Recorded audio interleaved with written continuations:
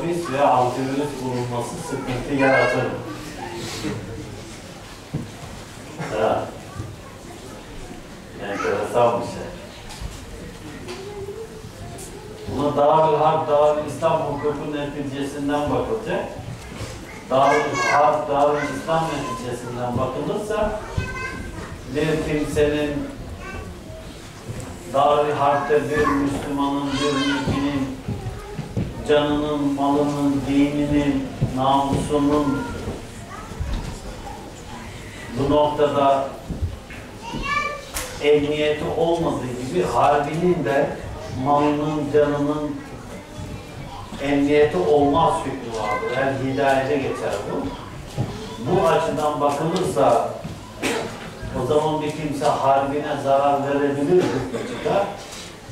Harbine zarar verebilir hükmü içerisinde bunu yapabilir o kimse hükmünü verir bazı hanefiler.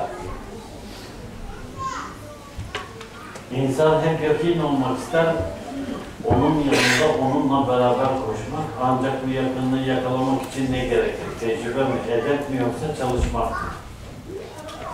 Bu yakınlığı yakalamak isterken kendinden öncekileri ezemiyor. Çünkü işin bir de edep kısmı var. Ama bu edep kısmı varken insan yakın olmak istiyor. Bu yakınlığı ne zaman yakalar Sofi? Yakınlıktan anladığımıza bağlı bu. Ve yakınlıktan kasıt hangi noktada ona bağlı yakın olmak. Eğer yakın olmayı Kur'an ve sünnet dairesinde durup farzları yerine getirip nafilelerle Allah'a yaklaşma ve Allah'ı sevme olarak nitelendiriliyorsa yakınlıkta benim anladığım yakınlık bu. Bunun yolu da belli. Bu o kimse farzları yerine getirecek, nafilelerle Allah'a yaklaşacak ve Allah'ı sevmek. Eğer yakınlık bir şahsa aitse o şahsa ait olan yakinin o şahsa, şahsın kendi özel kaideleri, kuralları, ne bileyim işte kendince kendi dairesinde çizmiş olduğu çizgileri vardır. Onlara uyan kimse, onlarla bu noktada tabi olan, o halde duran bir kimse o şahsa karşı yakin olmuş olur. Eğer bu yakin olma söz konusu bu fakirle alakalıysa benden uzak durmanızı tercih ederim. Siz Allah ve Resulüne yakının. Bu noktada şahs, benim kendi şahsi kimliğim, kişiliğim noktasında bana yakın olmaya çalışmayın. Bunun için özel çaba sarf etmenize gerek yok. Özellikle bunu söylüyorum. Bunu böyle tevazu noktasından böyle yok işte edep etti de yok tevazu etti de öyle şey edep işin edebiyatından değil. Bunu ciddi manada söylüyorum. Gerektiği kadar, mümkün olduğu kadar, lazım olduğu kadar. Bu böyle size için belki de ben böyle işte yok ya öyle düşünmüyordur da öyle söylüyordur noktasında görmeyin. Bunu ciddi ciddi söylüyorum. Siz Kur- Kur'an ve sünnete yakın olun. Bu yakınlığın en güzeli. Bu yakınlığın en güzeli. Haramlardan uzak durun. Bu yakınlığın en güzeli. Nefsinize uymayın. Bu yakınlığın en güzeli. En güzeli.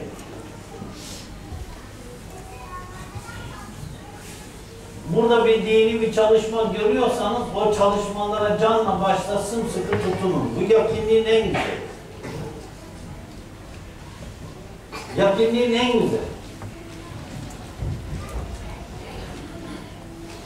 Yakınlıksa sünnet-i Resulullah'a sımsıkı sarılın. Bu yakınliğin en güzeli. Bu saatten sonra bana yakın olmaya çalışanlar benden sıkıntı yaşarlar, acı yaşarlar.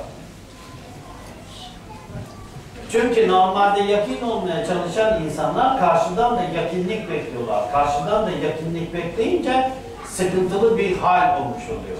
Veya kendisini yakın noktasında görüyor, kendisine özellik istiyor. Veya kendisini yakın noktasında görüyor, yani bilerek bilmeyerekten olmadık hançerler vuruyor. Bu böyle hakkınızı helal edin. Böyle ben içi dışında bir insanım. Açık bir şekilde konuşuyorum. Allah muhafaza eylesin. O yüzden yakın olacaksanız haramlardan uzak durun. Bir yakınlık peyda edecekseniz Hz. Peygamber sallallahu aleyhi ve sellem Hazretleri'nin sünnet ve Resulullah'ına yakın olun. Bakın yakınlığı normalde manevi olarak kendi üzerlerinde, üzerlerinde tesis ettiremeyenler yakınlığı böyle ıı, zahiri manada veya vücudi manada alanlar o şey efendi, o üstad vefat ettikten sonra sudan çıkmış balığa dönüyorlar. Kendilerini Kur'an ve sünnet noktasında dizayn edemiyorlar. Kendilerini böyle bu noktada olması gereken noktada ve yolda kendilerini tutamıyorlar. Tasavvuf kaideler, ölçüler dairesinden çıkıp sadece hislerin ve ne taraftan belli olmayan, nereden geldiği belli olmayan duyguların yolu olmuş oluyor. Yani kendisini çok yakın gören kimse dergahın içerisinde en edepsiz haliyle yakalanıyor. Veyahut da en edepsiz bir noktada duruyor. Çok yakın ne seviyor ne seviyor en büyük günah kebali işliyor. Ama o kendince çok yakın görüyor kendisini. Ona gitseniz ne seviyor şeyhini? Ama gidiyor şeyhin en mahrem noktasına dokunuyor. Onun mahremini parçalıyor. Ne seviyor, ne seviyor o kimse? Ama gidiyor hiç yapılmayacak bir şey yapıyor. Veya onca öyle seven bir kimsenin bir şeysine dokunmasına gerek yok. O bir şeysine dokunulduğunu zannettiği anda feryat etmeye başlıyor. O yüzden kardeşler Allah hepinizden de razı olsun. Bu yol böyle e, şeyhe zahiri yakınlık olarak değil. Ben kendimce, kendi dairemde yapabildiğim kadarıyla etrafımdaki insanlara Allah ve Resulüne yakınlığı anlatmaya çalışıyorum. Mustafa Özbağ yakınlığı anlatmaya çalışmıyorum. Mustafa Özbağ yakın olmaya çalışmayın. Hani bunu böyle tekrar etmek istemem bunu. Ama ben kendimce, kendi üzerimde vermiş olduğum sözleri unutmamaya gayret ederim. Hani dedim ya bir gün gelir sizden bir kaşık su istersen vermeyin dedim. Verirseniz hakkım helal değil dedim ya. Bunun gibi. Ama aman derken siz zarar görmeyin diye söylüyorum. Çünkü o yakınlığı götürecek, yakınlığı götürebilecek, yakınlığı böyle taşıyabilecek insanın o olgunluğa, o erdemliliğe, o hale ulaşması lazım. Bununla alakalı o kimse böyle bayağı imtihandan geçer. O imtihandan geçerken o kimse etrafa da zarar verir. Kaldıramazsa. Zarar verir etrafa. O yüzden yakın olmak sıkıntılı bir noktadır.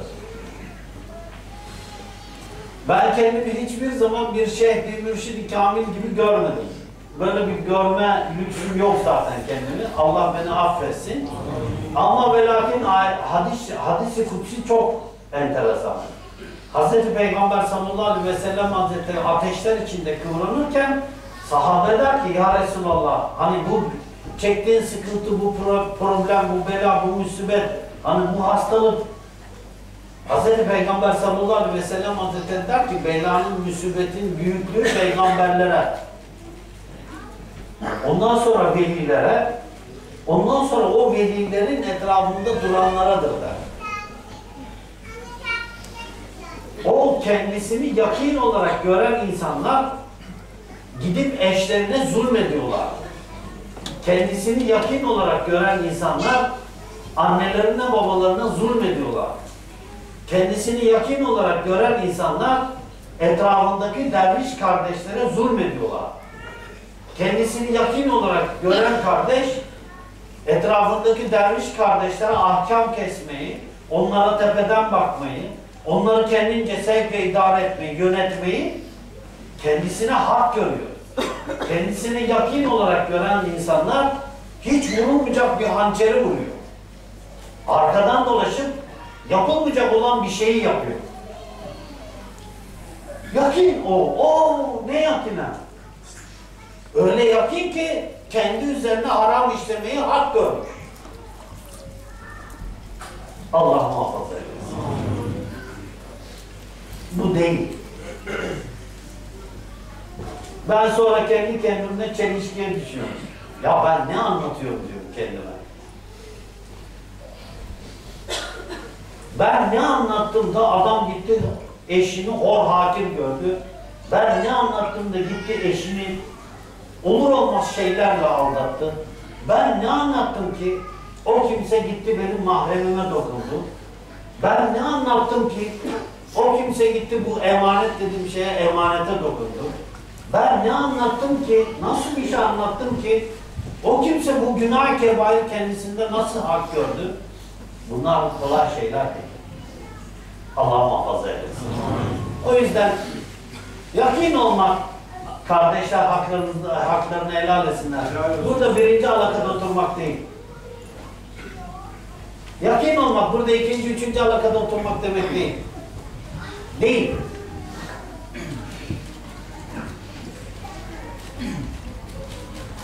Bence yakin olmak Kur'an ve sünnet dairesinde yolun adabına, erkanına, her şeyine dört elden sarılmak, yakin olmak, e, haramlardan uzak durup farz ibadetlerini yerine getirip Allah rızası için, Allah için bir noktada nefer olmak.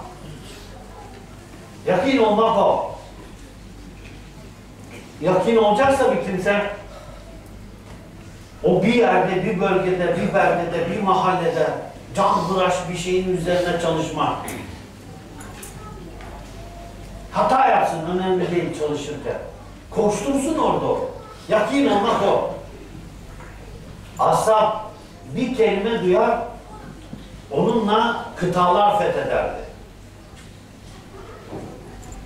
Bir cümleyle, bir cümleyle kabileleri İslam ederdi bir cümleyle köyleri, kazaları, me- mezraları İslam ederdi. Bir cümleyle bir beldeyi, bir bölgeyi, bir ülkeyi İslam ederdi. Bence yakin olmak o. Yakin olmak bence işte bir kimse bir vazifeyi yapıyorsa o vazifeyi en ince noktasında yapmak sema ediyor. Gözünü çevirme demişim, gözünü çevirmiş. Ne yapayım yanımda dursan olacak ki? Oradan bir başka birisi canı acımış, yanmış. Kızın birisi beni aldattı, dervişler böyle mi olur deyince ne anladım ki ben ondan? Veya evlenmiş, işte derviş de evlenmiş millet onunla. Ne? Yakin o. Böyle bir derviş ki çok hizmet ehli. Harika. Ama kadının iki gözü iki çeşme ama adamın iki gözü iki çeşme. Ne anladım mı ki ben o yakınlıktan? Ne anladım? Bir sayfa dolusu şikayet mesajı almışım. Ne anladım ki yakınlıktan? Bir sayfa dolusu şikayet mektubu almışım. Çok yakın, o öyle yakın dermiş ki bir de ahkam kesmiş. Biz öyle yakınız ki demiş. Biz bir şey yapsak şeyhimiz bizi ikaz eder. Ha şeyhinin başka işi yoktu. Seninle uğraşacaktı. Kendini o noktada görmüş. Bir dua edersen helak olursun. Maşallah subhanallah. Helak etmek için çıkmış yola. Kendi hatasını görmemiş. Etrafının hatalarına bakmış. Ne? Yakin. Allah muhafaza eylesin. Geçenlerde söyledim. Önce örnek olarak olsun. O da nefsine uymasın. Kayınvalidesi Allah razı olsun. Biz çok memnunuz. Bir kayınvalidenin bir damattan bunu söylemek için yani böyle bir hayli şey olması lazım. Kolay kolay kayınvalideler damatların üzerine böyle hükmetmezler. Kızım onda hep böyle bir nefsi o tarafa doğru çeker onu. Ama diyor ki Allah razı olsun ondan. Biz çok memnunuz. Allah nazarında saklasın herkesin. Ben bunu duymak isterim. Efendim bu nasıl bir insanmış? Bu nasıl bir dervişlikmiş? Bitti. Yakın olsam olacak. Bazen kızarlar, eleştirirler benim etrafımdaki insanları. Hani bu adamları, bu insanları etrafımda tutuyorum gibisinden. Ben diyorum ki, bana bir arkadaş, kardeş gö- gösterin. Eşi ondan ağzını doldura doldura Allah razı olsun desin.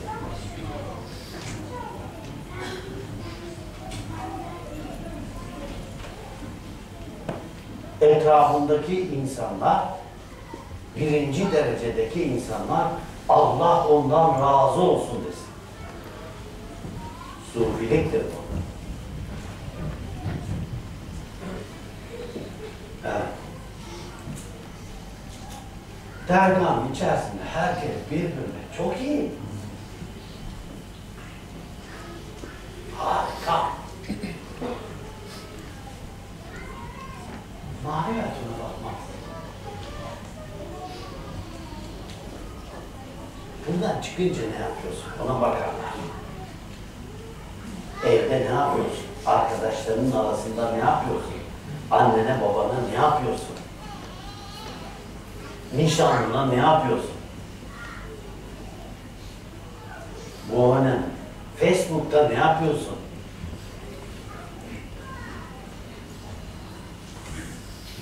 Allah bizi iyi eylesin. O yüzden kıymetli dostlar, sımsıkı dine sarılın. Haramlardan uzak durun. Farz ibadetlerinizi yerine getirin. Sünnet-i Resulullah'a sımsıkı yapışın. Bu güzel ahlak. Güzel ahlakın da güzelini bulun. Yakin olmak istiyorsanız, yakin olmak istiyorsanız, Allah'ı sevin. Bir vazife, çay getirecekmişim. En güzel şekilde çayı getir. En önce sen git. Ne vazifen var? Şu vazifen var. Önce sen git. Herkese orada hizmet et. En son sen gelme. Benim gibi olma. En son ben geldim. Benim gibi olma. Daha ciddi ol. Daha gayretli ol. Daha disiplinli ol. Yola karşı. Ama beni gördüğünde selam bile verme. Gerçekten. O şart değil. Yok. Aman ya onun gözünün önünde bulunursan yakın olursun. Öyle bir derdim yok benim. Yok. Allah yolunda sen koşuştur. Kendini disiplin et. Benim derdim bu. Allah bizi iyi eylesin. Erkeğin kişisel temizliğini yapmayıp ağır derecede kokan ağzı ve vücuduyla kadının cima, kadınının cimaya zorlaması zulüm değil midir? Zulümdür. Hazreti Peygamber sallallahu aleyhi ve sellem Hazretleri'nin sünnetine aykırıdır. Cenab-ı Peygamber asla bu halde değildir. Hazreti Peygamber sallallahu aleyhi ve sellem Hazretleri'nin fıtri olarak nitelendirdiği koltuk altlarını yolma işte ve tıraş etme sünnetini hiç terk etmezdi bu hali. Bu Adem Aleyhisselam'dan itibaren bütün erkeklere fıtrattır ve sünnettir. Bir kimse işte yaz günü belki de iki günde bir veya gün günde her gün de olabilir. Hadi yaz günü iki günde bir. Kış günü hadi hava soğuk olduğundan en az üç günde bir tıraşla alakalı o sünneti yerine getirecek. Yaz günü kendinde, kendisiyle alakalı muhakkak duş alma veyahut da ne bileyim işte yıkanma yapabiliyorsa her gün yapmaya gayret edecek.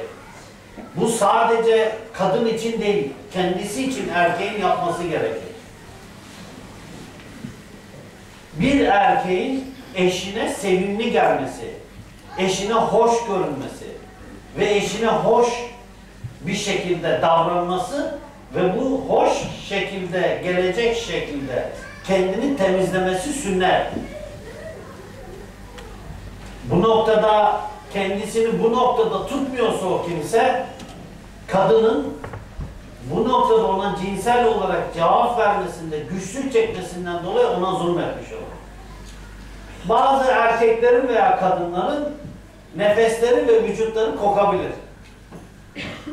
Bu noktada erkekler ve kadınlar da hem ağız bakımını hem de vücut bakımlarına titiz olmaları gerekir.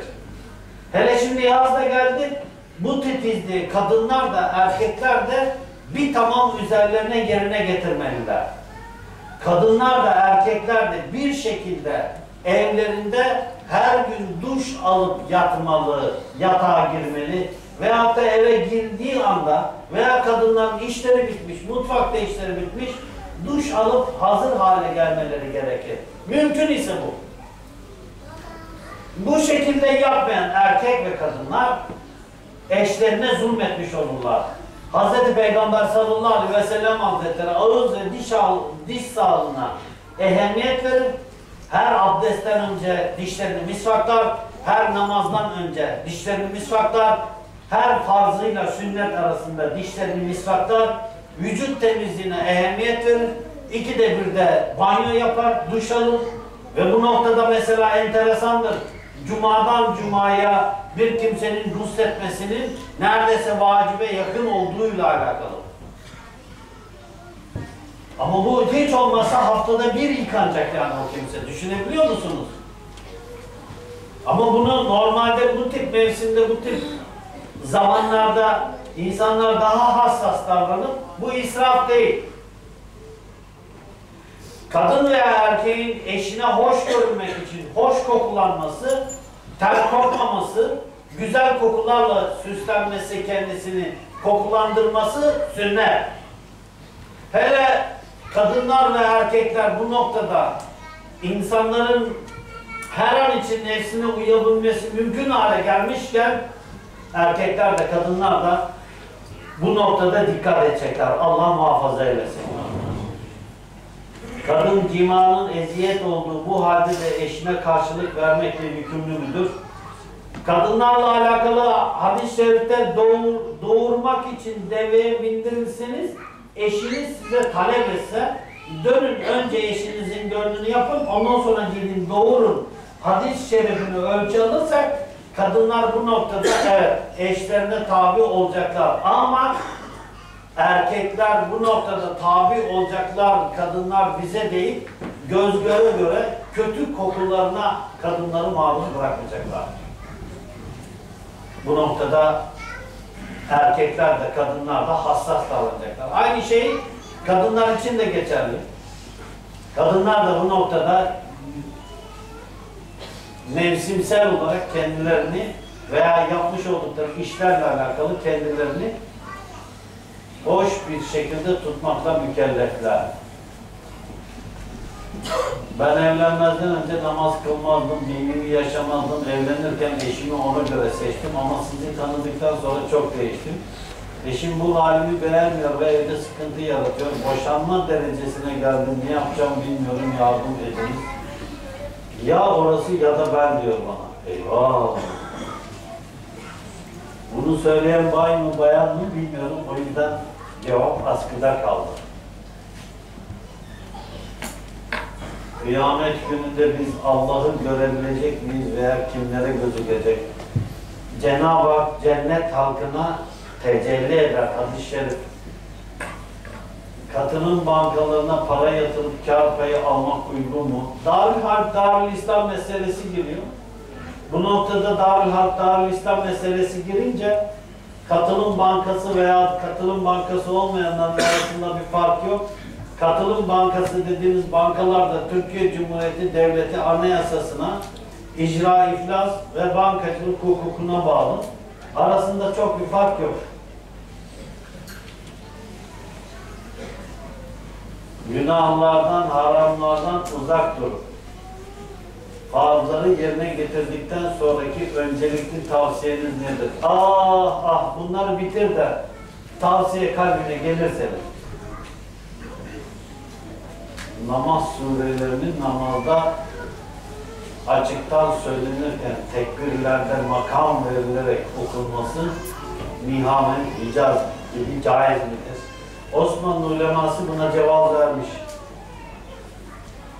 Seçimlerde X partiye oy verdim, iktidar oldu. Sonrasında haksızlıklar ve zulümler yaptı. İkinci ihtimal iyilikler, güzellikler, çok güzel hayırlı işler yaptı. Verdiğim oyun Allah'a karşı hesabı nasıl olur? Her şeyin Allah'a hesabı olur. Bazen de vermemenin de hesabı olur. Ama biz bir şey seçeceksek bu ne olursa olsun bir şey seçeceğiz. O seçtiğimizden sorumluyuz. İki, seçmediğimizden de sorumluyuz.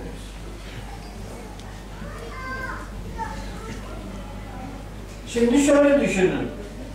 Hani bazen fetva veriyorlar ya, işte Türkiye'deki Müslümanların bu noktada oy vermesi caiz değildir.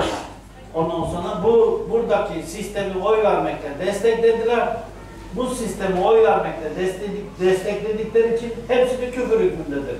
Kafir oldular diye fetva verenler var.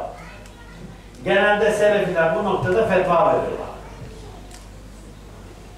Aynı Selefiler Mısır'da Sisi'nin darbesine de destek veriyorlar.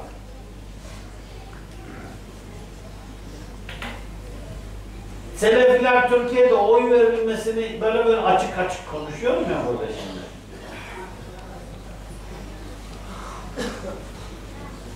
Ya beni tanıyanlar böyle açıktan bir cemaat ismi, ismi zikrettiğime çok şahit değillerdir. Bu konuda bir tehlike görüyorum İslam dünyasında. O yüzden açıktan böyle isim veriyorum. Selefiler mesela Türkiye'de oy vermeleri, Müslümanların oy vermelerini yasaklarlar, caiz görmezler, oy verenleri de bu küfür sistemine destek verdiğiniz siz değil, küfrüne fetva verirler. Aynı Selefi grup Mısır'da Sisi Müslüman kardeşlere karşı darbe yapar, o darbenin baş, öktür, yanlarında ona destek verirler. Örnek. Kime karşı darbe yapılmıştır? Müslüman kardeşlere. Aynı Müslüman kardeşlere yapılan darbeyi de Türkiye'de belirli bazı cemaat mesela müntesipleri de o darbeye destek olmuşlardır örneğin. Türkiye'deki 28 Şubat'a destek oldukları gibi Mısır'daki Sisi'ye de destek olmuşlardır. Aynı o cemaat müntesipleri bir kısım böyle kendisini Selefi gibi görünen insanlar Suriye'de de Esed'i desteklerler örneğin. Bir şeyi destekliyorlar. Şimdi bir kimsenin katil olduğu belliyken onu desteklemek farklı bir nokta. Ama bir kimseyi normalde ya biz destekledik ama böyle yanlışlıklar yaptı. Biz şimdi bunu destekledik, o yaptık diye bunun yanlışlıklarına da ortak olduğumuz düşünülürse sıkıntılı veyahut da yanlış yapabilir, hiç kullanmayalım diye düşündü. Peki, yani Türkiye'de camileri kapatan, Kur'an kurslarını kapatan, imam hatipleri kapatan, Türkiye'de dini eğitime balta vuran, ketre vuran, dini eğitimi yerle bir eden bir sistem başa geldi. O zaman sorumlu olmayacak mısınız?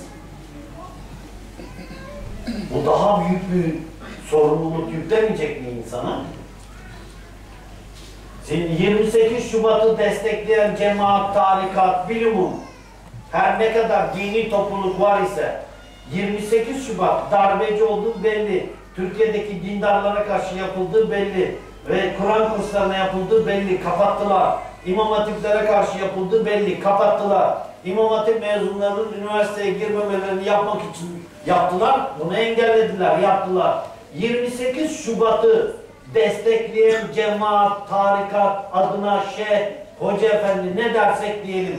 Bunca dini ve dinden olan şeylere yara açıldığında onlara karşı kendilerini sorumlu görmeyip, kendilerini yükümlü görmeyip, kendilerini normalde hatta o 28 Şubatçıları destekleyip isterseniz okulların hepsinde, dershanelerin hepsinde size verebiliriz deme noktasına dahi getiren kimseler bunun hesabını nasıl verecekler?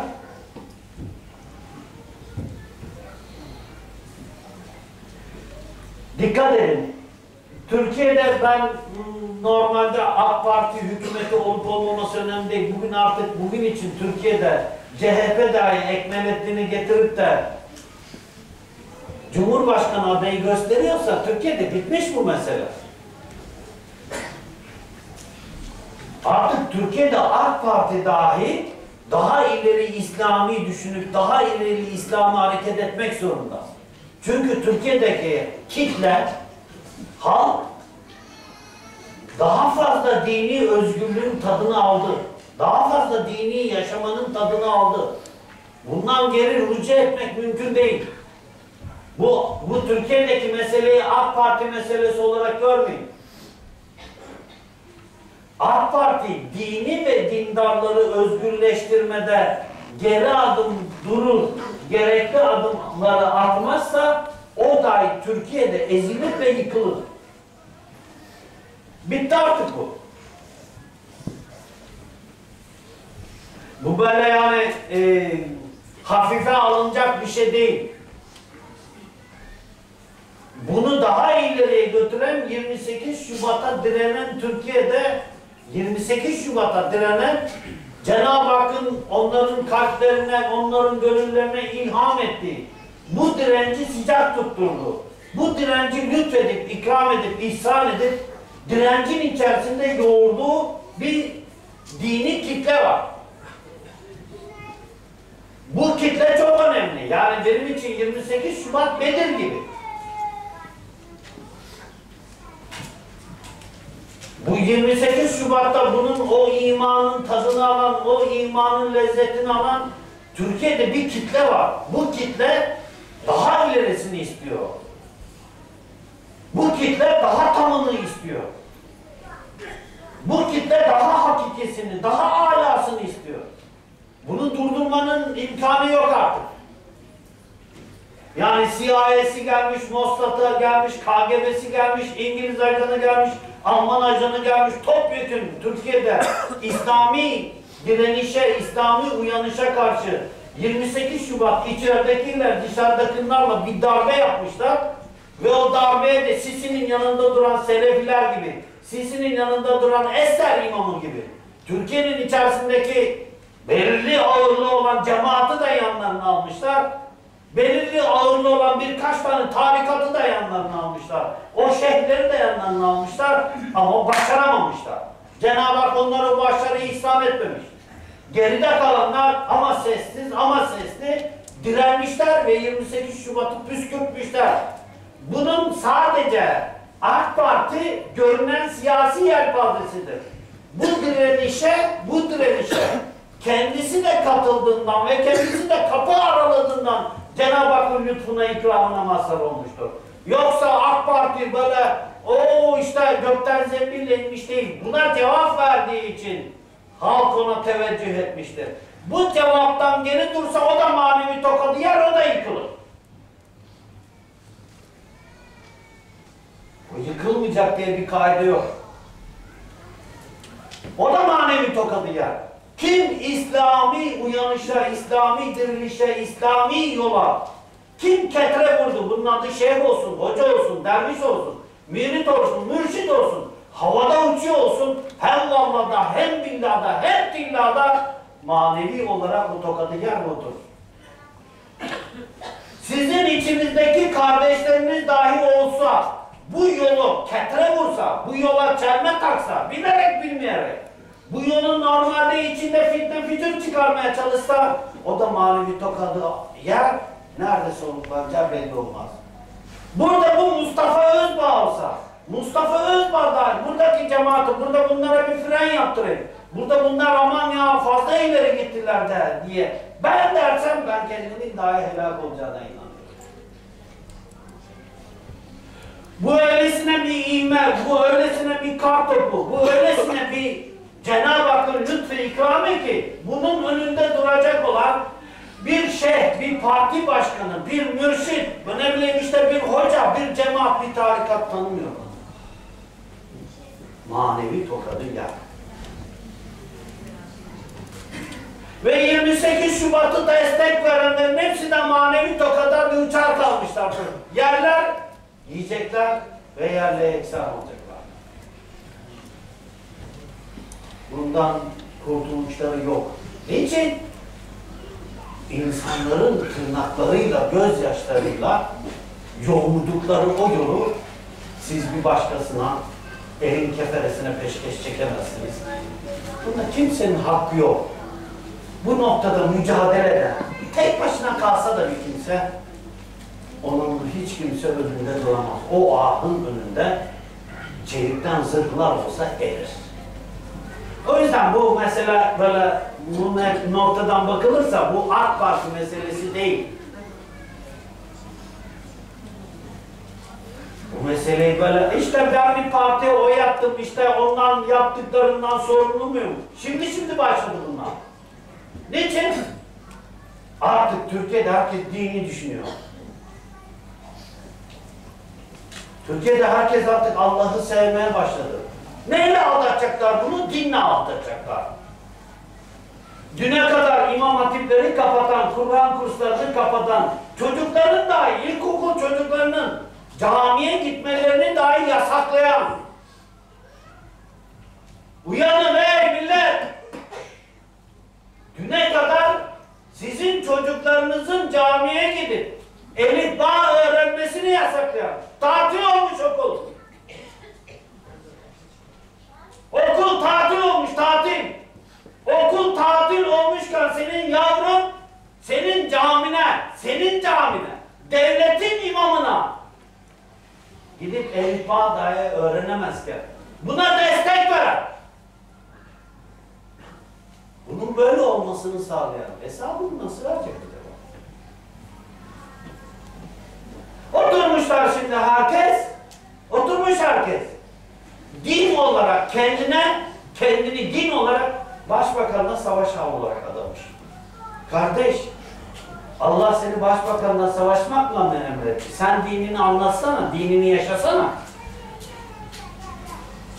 Allah sana Müslüman bir tarikatla, Müslüman bir tarikatın başındaki hatalı kusurlu da olsa şeyhlerle savaşmakla mı emrolundun sen? Selefiler oturmuşlar şimdi her tarafta ehli tasavvufa ondan sonra ehli şeyhe Ver yansın, çek uzansın. Ne kafirlikleri kalıyor ne müşriklikleri. Cemaat oturmuş. Her şeyi bırakmışlar. Başbakanı devireceğiz diye uğraşıyorlar. Selefiler oturmuş. Müslümanların ehli tarikatı devireceğiz diye uğraşıyor. Bakın. Meseleye dışarı çıkın. Geniş bir gözlükte bakın. Türkiye'de bir cemaat var. Hedef olarak kendisini başbakana seçmiş. Varını yoğunu onu yıkmakla, onu indirmekle uğraşıyor. Her şeyi mübah görüyor. Türkiye'de bir cemaat daha var Selefiler. Varlarını, yollarını oturmuşlar. Ehli tasavvufa savaş açmakla uğraşmışlar, uğraşıyorlar. Varlarını, yoklarını buraya ıı, yılmışlar. Türkiye'de bazı sivri zekalılar var. Onlar da oturmuşlar. Varları, yokları, parası olan Müslümanlar. Onlara savaşmakta emrolunuyorlar. Ne o bir tanesi var ya kitap yazan boyuna Diyanet e, ilahiyatçı. O insan var bir tane, bir tane daha var. Değil değil. Yaşar Nuri Öztürk. Yaşar Nuri. Geçen ulusal kanalda mı, halk TV'de mi ne izliyorum gece yarısından sonra. Yaşar Nuri oturmuş, bağırıyor. İhtiyacından fazlasını dağıtacaksınız diyor. Zekat değil, kırkta bir değil. İhtiyaçtan fazlasını dağıtacak. Sen dağıt önce. Buradan Hazreti Peygamber sallallahu aleyhi ve sellem hazretlerinin zekatın kırkta bir sünnetini kaldırdı. Niçin dağıttırıyor? El açık da var buna. Bunun gibi destekleyenler de var. Bunlar böyle topyekun, onlar da nereye savaş açmışlar? Müslümanlar bu 10-15 yıl içerisinde, 20 yıldan beri, 30 yıldan beri ticaretin tadını aldılar, biraz para kazandılar. Bunlar para kazanmakla destekliyorlar etraftaki Müslümanları. Bir Kur'an kursu var, adam yardım ediyor, işte bir şey var, oraya yardım ediyor, koşturuyor. E, partinin içerisinde olanlar var muhakkak. Partiye koşturuyorlar. Allah rızası için adam. Daha önceleri Refah Partisi'nin ilk zamanlarında bu çok mükemmel bir noktadaydı. E tabi ondan nemalananlar olmuştur olmamıştır Allah'la kendilerinin arasında. Ama bir hizmet, bir şey koşturuldu, bir şey oldu, Müslümanların sesi duyuldu. Nereden sesi duyuldu? Parayla sesi duyuldu. Para olmazsa sesi duyulacak mı? Kolay kolay duyulmayacak. Lazım. Ben bazen yani yanlış anlaşılmasın para istediğimden dolayı hiç kimseden de istemiyorum. Hiç kimse de vermesin. Böyle bir derdimiz yok. Sonuçta derman bir masrafı var. Tekkenin bir masrafı var. Buranın masrafı var. Elektriği var, suyu var, kirası var. Doğalgazı var. Var. Olmazsa ne olacak? Toplanan, toplanacak yer lazım. Mümkün değil başka türlü. E şimdi millet kendi yaşadığı noktada, kendi dairesinde bir şekilde koşuşturuyor, hizmet ediyor. Oradan bağırıyor. İhtiyacınızdan fazlasını dağıtın. Git Sabancı'ya söyle. Sen al Sabancı'nın bütün malını tasadduk et. Al Koç'un bütün malını tasadduk et Türkiye'de. Gidip Koç'a söylesene bütün malını dağıt diye. Gidip Sabancı'ya söyle bütün malını dağıt diye. Daha ilerisini söyle hatta sen. De ki ey Müslümanlar bunda hepinizin de payı var. Hepiniz de bunlar sömürdüler. Bunlardan gidin sömürüldüklerinizi geri alın. Ne yapalım? Bütün hesaplarına girin. Bütün hesaplarına girerken bu insanlar bunlara ne kadar faiz ödediyse hepsini de geri alın. Hakkınız sizin. Girin koçun bütün banka hesaplarına. Bütün defterlerine evet el koyabiliyor musun? Haydi ne kadar faiz aldılarsa geri ödesinler. Sabancı ne kadar faiz aldılarsa geri ödesinler. Bankalar bu milletten ne kadar faiz aldılarsa geri ödesinler. Zulümle aldılar. Müslümanların bunlarla cihad etmeleri farz.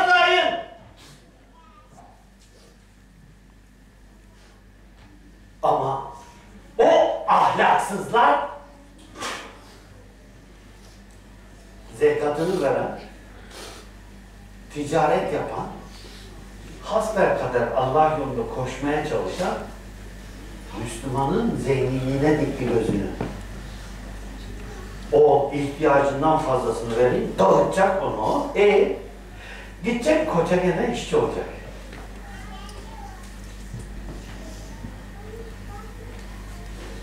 Dağıtacak fabrikasına da.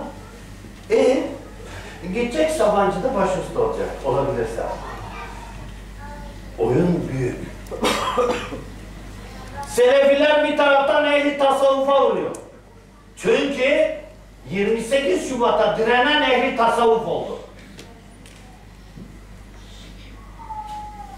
Bir daha böyle bir darbe yaparlarsa yine ehli tasavvuf direnecek biliyorlar.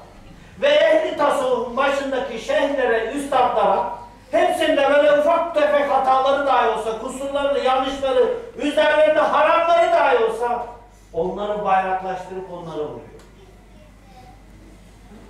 Selefilerin vazifesi bu. Onlara biçilmiş vazife bu. Cemaate de bir vazife biçmişler. Onlar da başbakanı ve AK Parti'yi indireceğiz diye uğraşıyor. Onların da vazifeleri bu. O vazifeye biçilmiş onlara. Oturmuş entelektüel kendince dini profesör, imam, alim hükmünde gören zevat da oturmuşlar Müslümanların zenginlerine gözlerini dikmişler. Onlar da din adına onlara vuruyor. Neden? Müslümanlar Türkiye'de direnmesinler, uyanmasınlar, ayağa kalkmasınlar. Direnirlerse, uyanırlarsa, ayağa kalkarlarsa Kraliçe Hazretlerinin dönen çarkına çomak sokacaklar. Amerikalı George amcanın dönen çarkına çomak sokacaklar. Orta Doğu'da Yahudi amcanın, onların amcalarının, çünkü onların amcası o. Evet. Geriye doğru gittiğinizde Naim Cohen'in kim olduğunu öğreneceksiniz. Naim Cohen'in kim olduğunu öğrenemeyişinizin sebebi Türkiye'de soy isim kanununda. Türkiye'de soy isim kanunu olmasaydı, ad ve isim kanunu olmasaydı siz kimin ne olduğunu o zaman bilecektiniz. Şimdi bilmiyorsunuz. Adamı siz İbrahim olarak görüyorsunuz. Adamın adı İbrahim değil.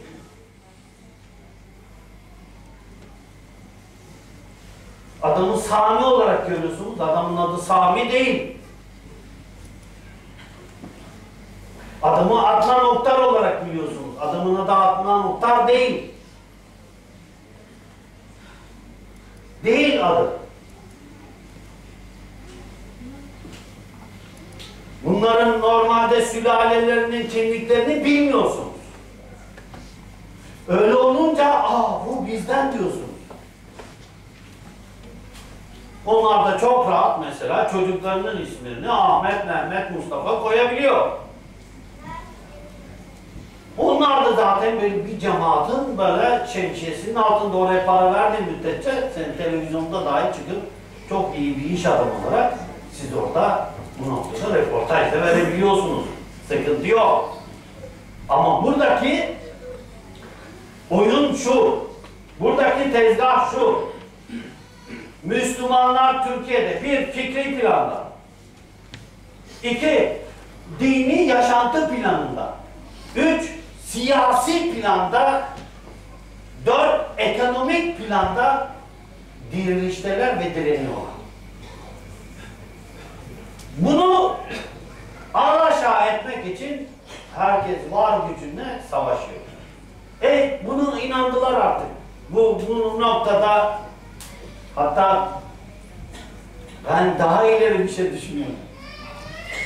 AK Parti'nin karşısına bütün partiler toplanmalı, yeni bir tüzük oluşturmalılar.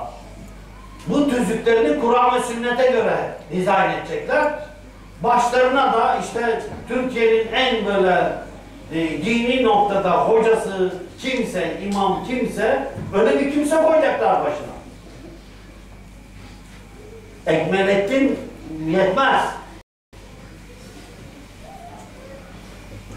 Asla. Müslümanlar dönüp Ekmelettin'i şimdi böyle ha bu çok Müslüman, çok dindar değil, aldanmazlar. Şimdi öylesine bir cumhurbaşkanı Müslümanlar bekliyor ki daha radikal İslamlar olsun, İslami söylemler olsun, dinini daha radikal yaşasın, daha düzgün yaşasın. Radikalden kastım benim korkmasın, cesaret etsin, namazını saklamasın, orucunu saklamasın, hanımının başörtüsünü saklamasın. Dinini asla ve asla saklamasın. Dinin yaşanması ve yaşatılması için mücadele etsin.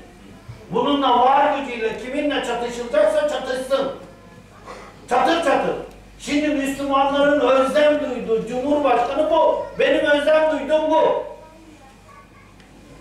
Nerede dini yasaklayan, dini kısıtlayan, dini söylemi kısıtlayan kanun, manun ne varsa hepsini bu noktada değiştirsin. İnsanlar dinlerini hür ve özgür bir şekilde hem anlatsınlar, hem yaşasınlar, hem söylesinler. Benim istediğim bu şimdi Türkiye'de. Bir daha böyle Müslümanlara karşı darbeydi, ibadetlerini engellemekti. Onlar yok burada işte siz zikrullah yapıyorsunuz, alın yürüyün bakalım karakola nezarete böyle şeyleri şu anda yaşamıyoruz da daha ileri bunun hiçbir şekilde hiçbir şekilde inkıtaya uğratmayacak bir cumhurbaşkanı. Benim istediğim bu. Bir kanun, bir madde çıkaracakları zaman Kur'an ve sünnete uygun mu değil mi diye bakabilecek bir ben yönetim arzu ediyorum. Böyle zevahiri kurtaracak aman ne derlerden korkacak aman ne derler nasıl ederler. Vay ya şimdi ayağa kalkarlar bunu yapmayayım. Ben böyle bir şey istemiyorum. Ben Ekmelettin'den de bunu görmüyorum zaten. Adam Mısır'dakine darbe değmedikten sonra yok. Allah bizi affetsin. Bu şehri risalesi, sufilerden bir topluluk yoktur ki orada cinli taifesi olmasın. Bizimle birlikte cinler de var mı sohbette, bir de onlardan intisap eden var mı? Bak bakalım bir.